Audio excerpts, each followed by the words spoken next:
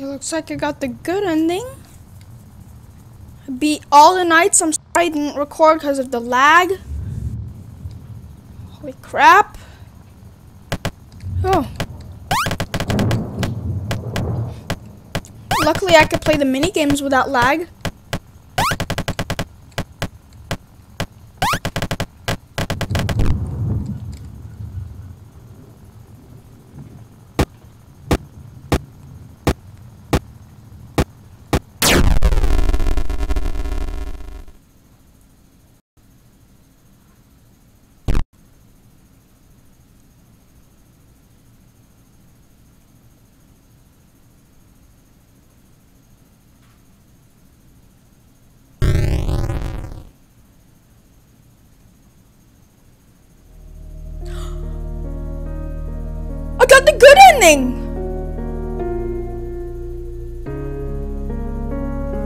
Oh my god, so that was like three days workout just for those jump them jump scares and mini games. I just want to hear the music. I love it.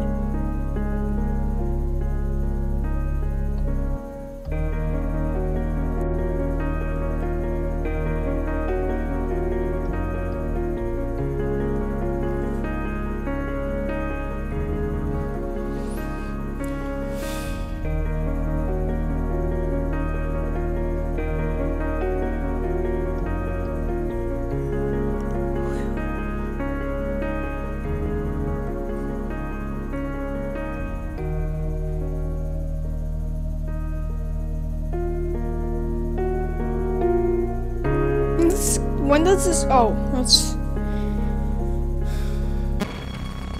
Oh, two star. Woohoo! See the in the extras. See what's in the extras. Mini games, jump scares, none right now. Purple Man mini game, Golden Freddy, chicken. I don't know. And then that person. It's so kind. It's it's kind of scary seeing those animat these animatronics up close in my face. I've real I've only seen them in phone. I'm in iTouch. I'm in i Apple iOS.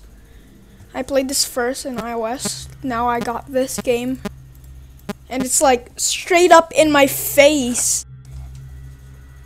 God. You will have no idea how man, how much work I've I have like done trying just trying to research about the good ending cuz you know I just want to hear that music and I hate that like lullaby music stuff.